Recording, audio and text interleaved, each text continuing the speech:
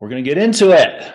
So we're talking right. about, yeah, we're talking about um, maintaining your gains and navigating the holidays. I feel like this is a really, really useful discussion because if you don't go into the holidays with a little bit of an intention, um, you know, for some people it can be a problem. So I think a little intention really, really goes a long ways. All right. So if we start with acknowledging what it is that we want, and why we're here, Thank you, Suzanne. Um, I think, you know, for most of us, it almost always, I was talking to a nutrition cohort of mine yesterday, and it's like, it almost always boils down to body composition and just feeling good. Yeah, and good health over time. So, so this is why we're here. This is why we keep showing up. And I really, really, really uh, applaud you guys for showing up because showing up is part of it, right? As you stay engaged with things, um, that engagement unconsciously helps you be more diligent with what it is that you're doing because you're constantly be exposed to this stuff.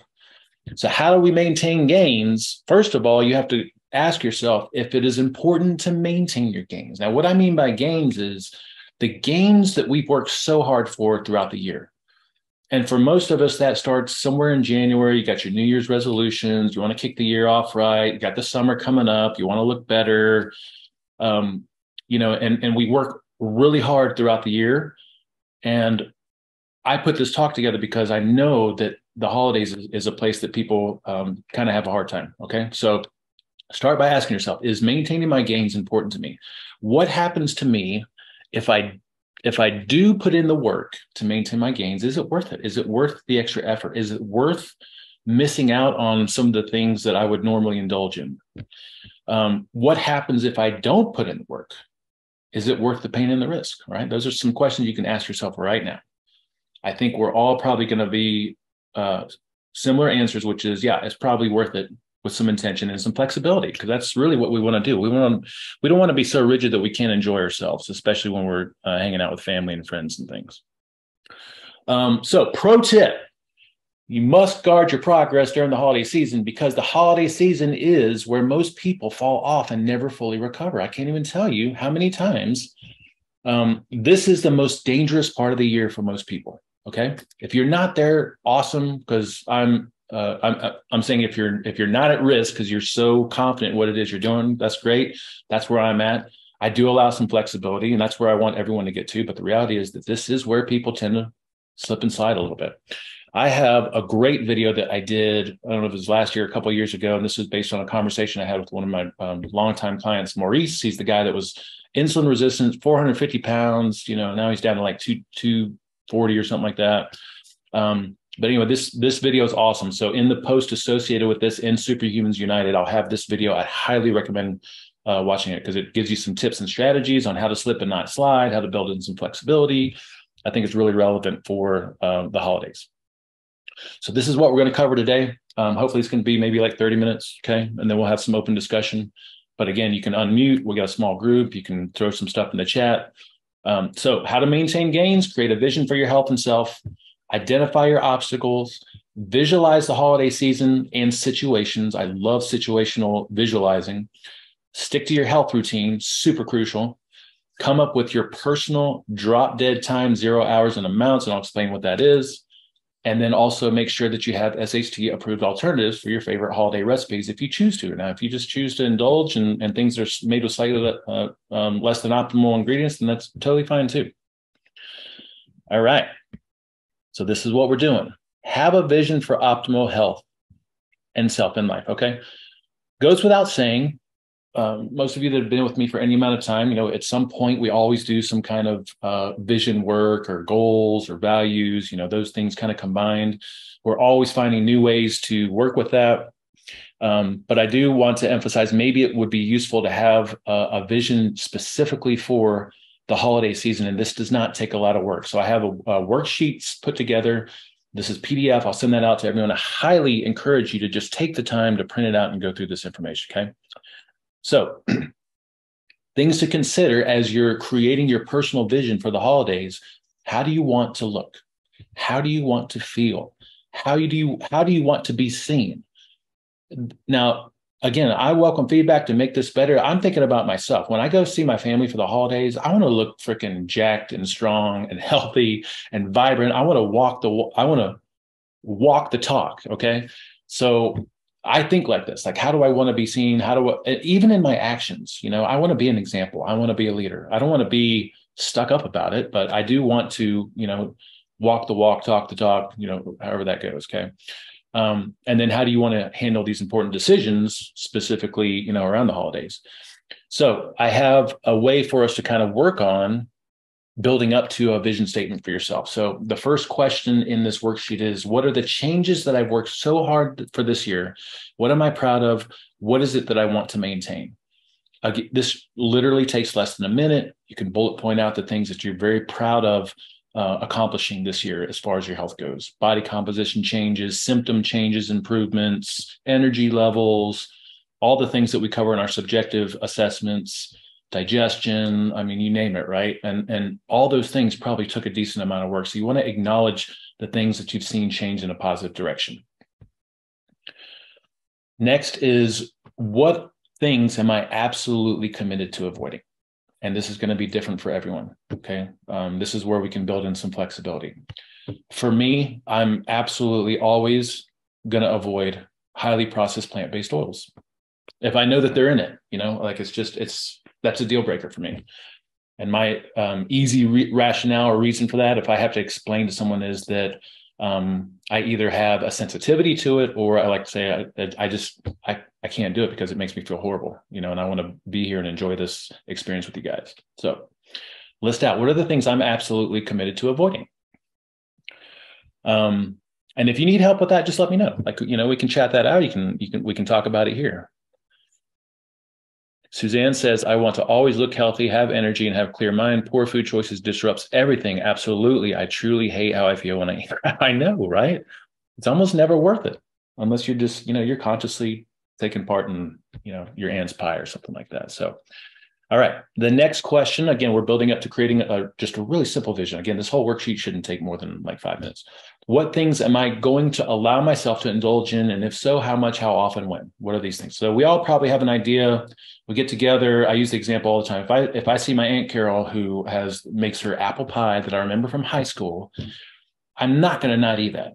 Now she makes it with wholesome ingredients, but it does have wheat. But she uses butter and you know apples and stuff like that. So um, her pecan pie. Oh my gosh, like it's amazing. So I'm going to allow myself to have a small piece of that. I'm not, and I'm not going to beat myself up over it. So there's certain things, um, like for me, most of you know my weakness is alcohol. Okay, I'm not alcoholic. I don't have a problem with it, but um, that's just uh, me acknowledging that's where I like to indulge. So when it's the holiday season, I'm hanging out with my sister and her husband, and we're playing ping pong. Like I'm probably going to do some day drinking. Okay, when I'm down there.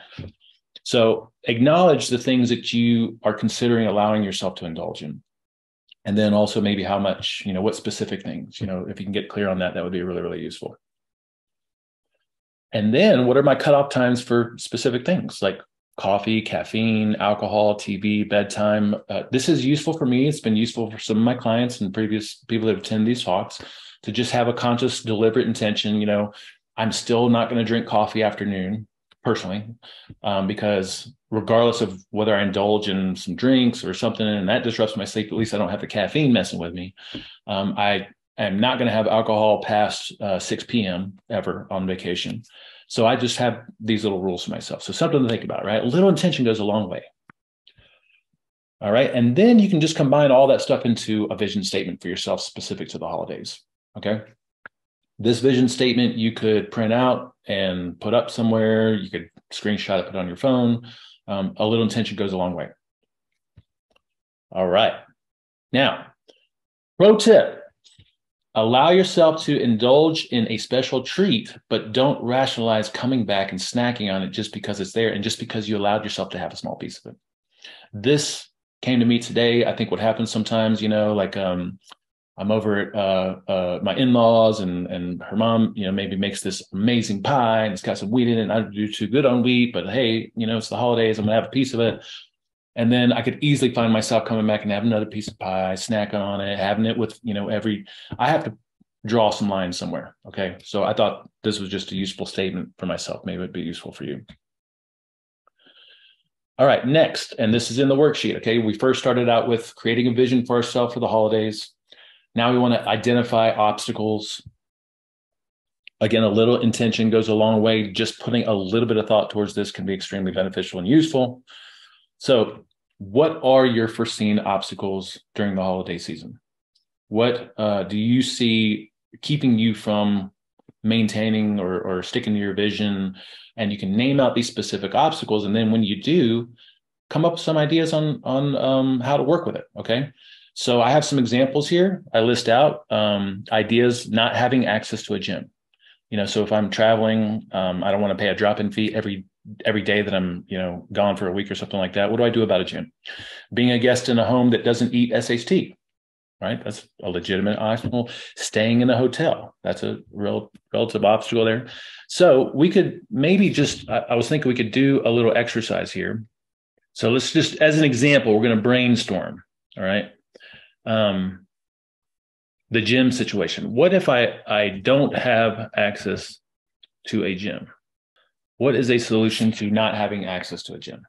Because I'm a workout fanatic, right? If I go and I travel somewhere and you know I'm just not willing to pay a lot of money for drop-ins and things. Anybody have any any recommendations for me? So then it said body weight workout. So definitely um, in place stuff, right? Most of us are probably familiar enough with uh, with fitness that we we would know how to do that ourselves. So, and that's exactly what I do when I'm traveling. Like I'm come hell or high water. If I'm not at a gym, you know, I'm going to do my walk and I'm going to come back and I'm going to sit and meditate, and then I'm going to I'm going to do something. Know, usually, I can find like a kettlebell or a dumbbell or something like that. But any other ideas? What do you do if you're traveling and you can't work out because you don't have a gym? Well, no, I shouldn't say you can't work out, but enjoy the outdoors. Just get outside, go for a jog. Boom. Go for a jog, go for a hike. Um, you know, AllTrails, you know, you pull up AllTrails app on your phone, you can find a trail nearby. I literally, you know, you drive five minutes down the road and go find a trail. Swim, hotel, pool. Yeah, if you got access to a pool in, in the hotel, I, I think, you know, just having this mentality to stick to the things that make you feel good. There's no reason that just because it's the holiday season, you have to give up these things. And and I feel like that's and it's fine if you decide to do that consciously, but I feel like a lot of people, it's oh, it's the holiday, I'm busy, I'm on vacation, I'm just gonna let myself go. I'm gonna skip these things. And and again, that's a slippery slope. So so that was that would be what we do with our foreseen obstacles. Again, this does not take much time at all. A little intention goes a long way. Just list out your obstacles and list out like what are some some things that I can do to mitigate these things. Next would be to visualize specific situations. I love doing this for everything. Okay, this is how I I don't forget things. I still forget things sometimes, but I'm way better at not forgetting things. Okay, so if I go backpacking, I visualize situations. Okay. Meaning I visualize myself the, the whole trip, you know, leaving the vehicle, um, the hike there, taking breaks. What do I use on my breaks? You know, w- what's happening on the hike? What happens when I get to my, my uh, camp uh, setup situation. I go through visualizing setting. Oh, that means I forgot this little thing, or I forgot my stakes, or forgot my rope, or forgot my tarp. I go through dinner making dinner. You know, what does that involve? Having food, you know, having my cooking utensils, starting fire. I go through uh, waking up in the morning, coffee, cold, you know, oh, need my beanie. Can't forget my beanie, right? So if you visualize yourself going through situations like it's a movie, it will help you remember things. So I think that's useful to do for the holidays. If you visualize situations in the holidays, um, that will help you prepare for maybe challenging situations or at least remember to bring or, or do things or have things available okay? So here i have some examples. Um, the plane flight. You know what do you need for a plane flight? When you go to the airport do you need snacks do you need you know make sure that you have certain things in your backpack your pack um, a car ride. That may imply that you want to make sure that you have um, a cooler and, and foods and um, you know, maybe some uh, weather gear, gloves, raincoat, things like that.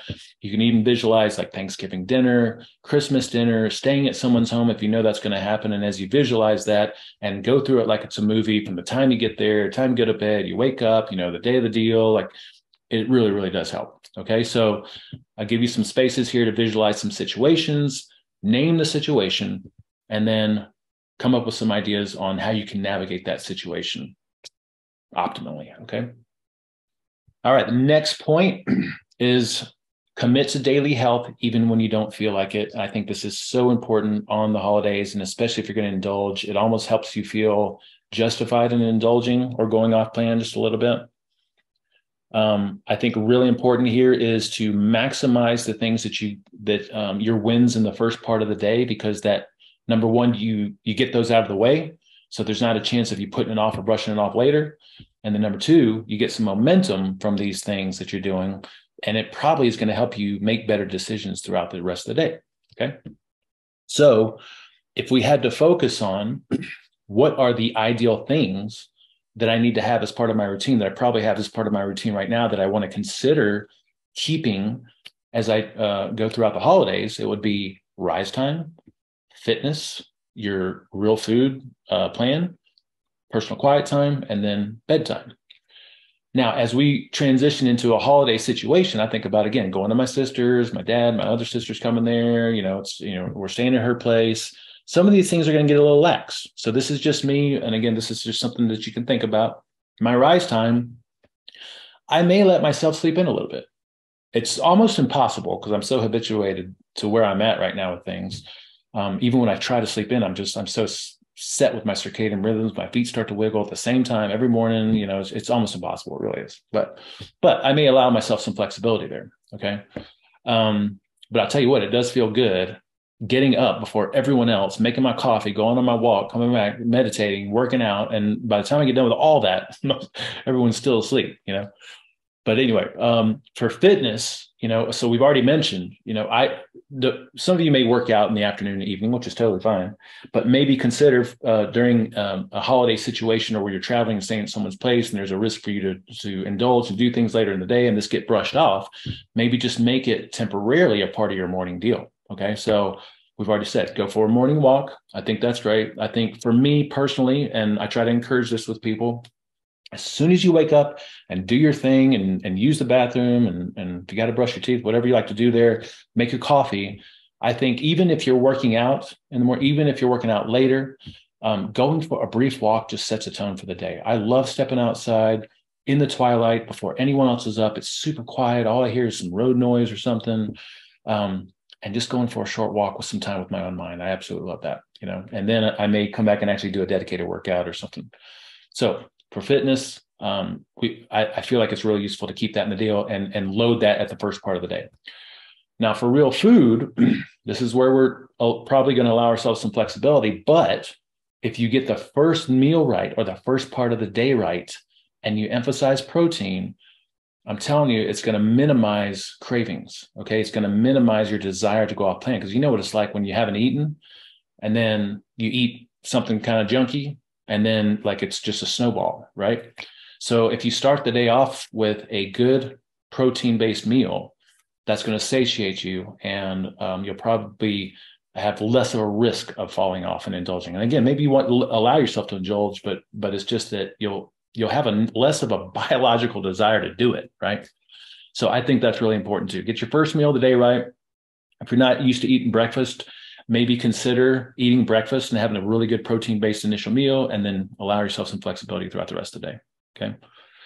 Um, and then for personal quiet time, for me, it's non-negotiable. I, I know for a lot of people, it's it's kind of it's easy when you're in your your setup and your sit in your routine, your situation at home um, when you when you move away from that situation some of these things you don't even realize it you just kind of forget it and and i've been there before but that's why i like to habit stack you know I, I wake up i go down use the bathroom get my coffee and then i go for my walk and then the walk is my trigger to sit and meditate and then my meditation is my trigger to do a little workout or sometimes i swap those two but so if quiet time is important to you, there's no reason that has to um, to go away when you're traveling or uh, on the holidays.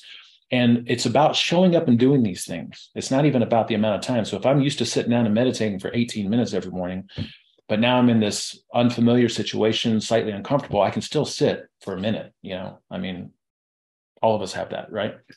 So, and then bedtime, again, maybe it's just a little flexible. You're staying up with the family, you know, watching a movie. We love to watch Star Wars. We have Star Wars uh, nonstop on repeat you know the whole time that we're at my sister's you know starting with the first episode all the way through and we go back and then also national lampoon's christmas vacation so um so you know this just uh, considering what are the most important things sticking to the routine is extremely beneficial because at least you got that right and then if you indulge and you go off plan at least you did these things and you can feel good about that so and probably what's going to happen is at the worst, you'll just maintain what you what, where you're at, right? You're not going to get worse and put on a lot of weight or just feel really horrible because you front loaded the day with the most beneficial things, right?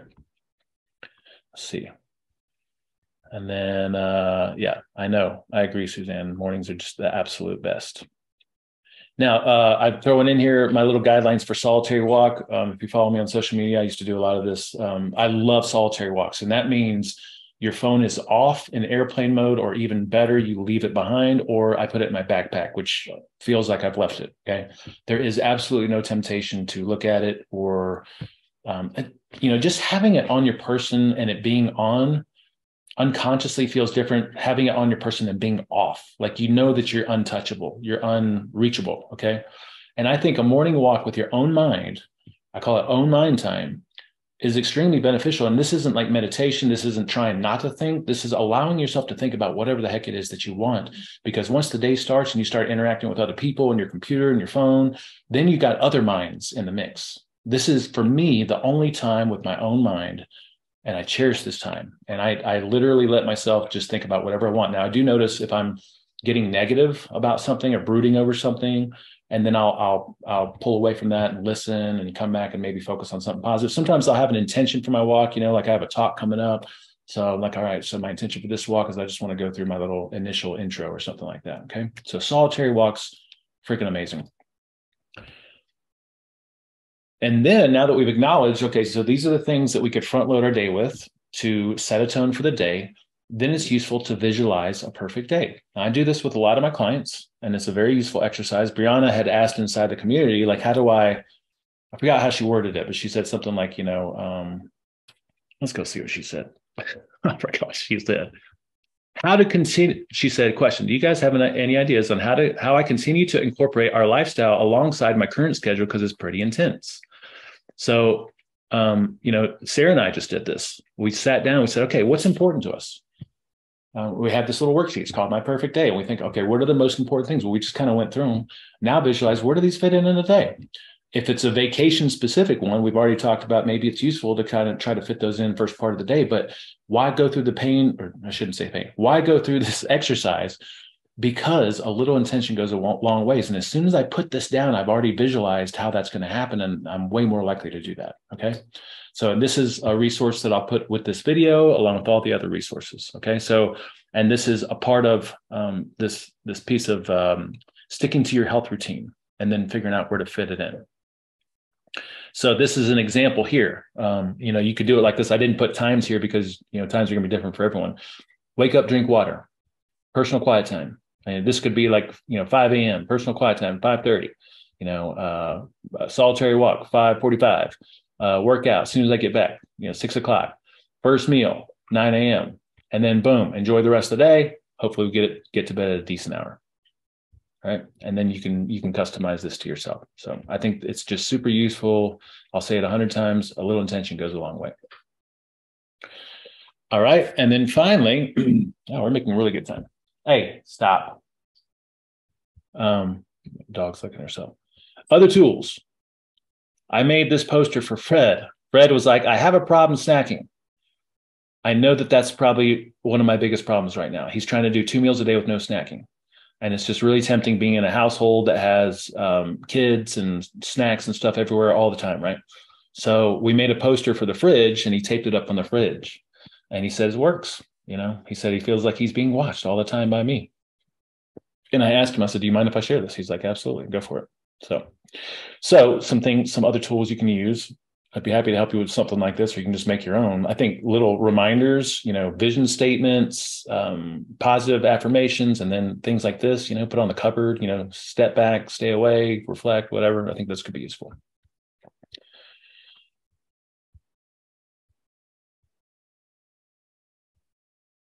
Yep, yep, yep. Um, this was a useful poster. So this is also, you know, me and Fred had this conversation, right? I, I, we had, it's always useful to come back and review some of our our primary concepts, all right? And one of them is that our bo- excess body fat is there. It's stored energy for periods of not eating. It's an evolutionary adaptation of starvation. And therefore, if I want to teach my body how to use my own body fat for fuel, I have to go through periods of not eating. This is our rationale for no snacking, whether it's two meals a day or three meals a day or one meal a day or whatever.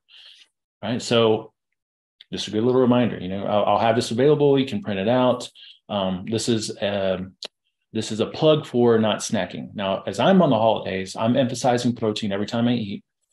First of all, I just do that anyway, but I feel amazing, but especially on holidays because it helps mitigate my cravings. And then I'm committed to not just walking by and just grabbing snacks the whole time. Not that there's anything wrong with that. If you decide to do that and that's your deal and that's your flexibility point, perfectly fine. But for me, I'm just like, I'm going to be really clean and spot on the whole freaking day. I'm going to have my protein meal. I'm not going to snack at all. And then when it comes time to you know, enjoy dinner and, and things with the family, then I'll maybe let myself indulge a little bit. Yeah, pro tip. Now, protein is the most satiating of the macronutrients. Prioritize and emphasize protein. It will curb your hunger and it will minimize your cravings. Not just during the holidays, all the time. Other resources. We've got uh, uh, updated two documents that are really, really useful. We just updated it. Um, uh, what was the talk that we did that for? Anyway, we just did this here recently, and it was uh, navigating uh, your real foodness while on the road and traveling, and then strategies for. Um, I call them two different documents, but anyway, they have a lot of great things about ordering at restaurants, um, ordering fast food, packing your cooler, and things like that. Here we go. I thought this, I thought this was hilarious. All right, nice.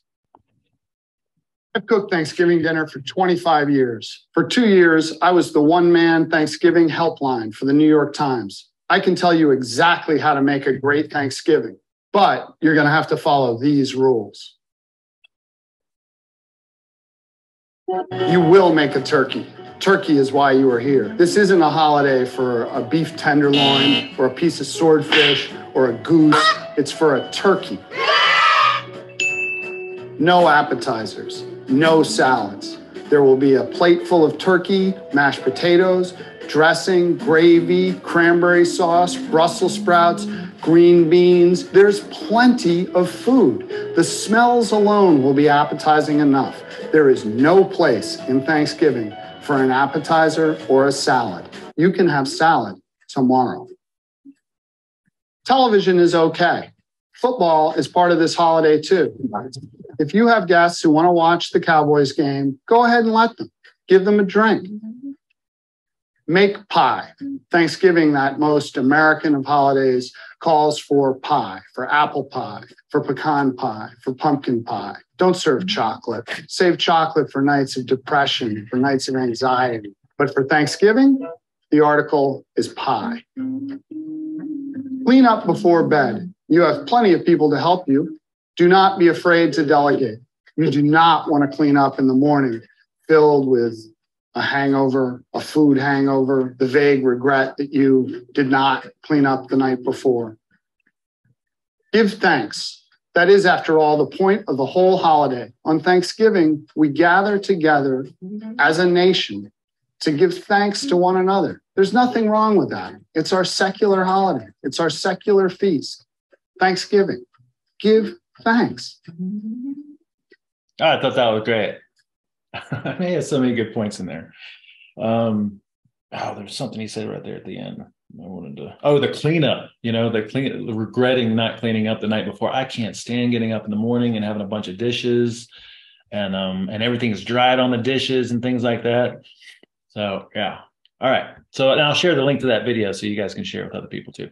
Now, I have an updated recipe book and um, inspired by that guy and just um, you know just the traditional dishes in general. At the beginning of the guide, I have a list of traditional Thanksgiving dishes. I kind of like his mentality of like you know you don't have to veer from this, although you can you can do whatever the heck you want. You know, um, so I have that, and then we have a bunch of uh, recipes that are tried and true that we've used over the years in here, and a few additions. I got my um, almost world famous pecan pie, pumpkin pie, sweet potato pies in there. Those are really, really great. Um, yeah. And then I've got a bunch of resources that I want to share with you guys. Okay. Um, if we go to, I'm just going to share some of them right now. Um, so first of all, you have plenty of time because we have a what do we have like a two or three weeks, right, to order a book and get it in. One of my favorite holiday books is Danielle Walker's. She has a blog called Against All Grain, um, her celebrations cookbook, and it's awesome. It's just got recipes for the holidays. It's really really great. um, I've gifted that to some people. Um, I think Delish is a really, really good web website. So um, you can search for paleo recipes, and those are pretty much going to jive with SHT, or you can do primal recipes, and that's going to jive with SHT. Um, usually keto, you know, jive with it, although we're not trying to be low carb. Um, keep in mind to shitify things, you can always make sure that you add things that um, may, you know, paleo is famous for eliminating dairy. Well, we're fine with dairy if you if you tolerate it. So you can always enhance your recipes or give them a little bit more flexibility. But I'm going to share these links because I did a lot of research into uh, what I felt like were the most useful and simple recipe sources out there. I've got this delish one here that I'll share the link to. Um, I came across this half baked harvest. It's not um, you know SHT or paleo or prime or any of that kind of stuff. But they have really good traditional recipes that you could shitify by taking out the gluten or replacing it with some kind of flour or something like that, right? Um, the Primal Palate is a really, really great resource. And so they have uh, cookbooks, but they also have this web page here 50 paleo Thanksgiving recipes. And it's just got a ton of really, really great stuff. And then um, finally, you know, Mark Sisson's uh, Primal uh, Daily Apple website. He has a ton of recipes, and he's got a, re- a Thanksgiving recipe roundup that I'll be sharing with everybody as part of all this stuff. So, um, just to review, what I am going to drop into the post, and then um, Sarah is not a part of the community yet, but I'll just e- email this to her. Um, we have the worksheet that I'll be giving to you guys. Um, I've got, uh, let's see, all the pro tips I always export as images that you can put up if you want to. I've got the perfect day handout that I'll make available. I've got some example posters that I'll make available. I've got the strategies for eating out, strategies for traveling. And then I've got the recipe resources, including our recipe booklet, and then links to the different recipe sources we talked about there. Final thing, I was working on this today. You guys tell me if this seems like it's useful to you or not. Um, this is uh, my checklist for traveling, travel checklist. And um, and I can put this in the group and I can make it as a post so it's editable and you guys can contribute to it. So I have uh, my cooler checklist, which has this is what I personally take with me when I go places. Okay. Got my eyes, frozen bone stock, frozen ground beef, pre cooked burger patties, fresh eggs, hard boiled eggs, baked sweet potatoes, oven roasted carrots, butter, cream, sparkling water, Zevia yogurt, berries, if I miss anything, let me know, but I'll post it and you'll have a chance to comment on it. Um, my uh, non-cooler stuff, I've got instant coffee, coffee beans for arnica, uh, coffee cup canteen, supplements, collagen, bone stock canteen, LMNT packets, beef sticks, beef jerky, a five gallon water uh, jug jug of water, canteen for water. And then I've got like clothes type stuff, toiletries, workout shorts, workout shirts, long sleeve shirt, pants, thermal layers, light jacket, warm jacket, rain jacket, work workout shoes, uh, nice shoes. I got some Wittens I with dress pants, cold weather shoes, beaver hat, beanie, gloves, blue blockers, backpack, sleep kit. It's most everything. So I'll share that in the group too. If you guys have anything to contribute, let me know. And I think that's about all I got. Questions, comments? What do we got? Before you leave, you have to unmute yourself and say something, even if it's bye. Good info. Hey, what's up, Kathy? Nothing, just listen away. Good info. Oh, thanks. Yeah. Well, it's all all you guys contributing over Hopefully the. it'll keep me on track this year.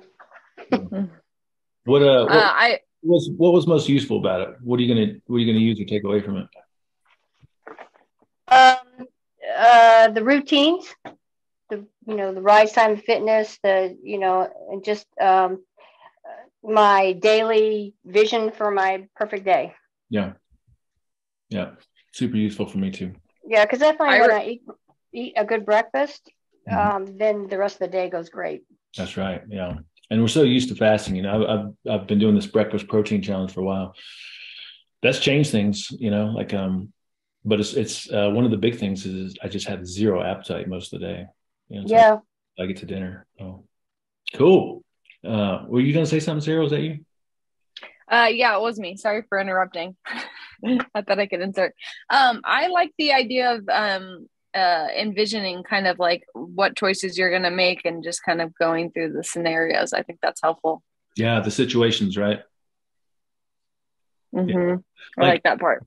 Yeah, I, I found um because you backpack at all? I'm assuming you backpack, right? Or? Me, not a ton. Okay. Well, you know, if you go backpacking, you're basically living off what you got on your back, right? And if you forget something, like it's not a good thing. And I learned mm-hmm. the hard way a couple times. I'm like, checklists are fine, but for some reason with a checklist, I don't know what my mentality is. I'll go through it and I'll just like, okay, yeah, I'll, I'll go back and get that, or like, and I just forget the stuff still. But if I go through situations as I'm packing my stuff, it's just like, okay, well, I get, ooh, I need this for that, that, you know. So yeah, I like it. Yeah, I like it. Cool. Good to see you. Yeah, thanks for having me. Yeah. Hey, Paul. Hey.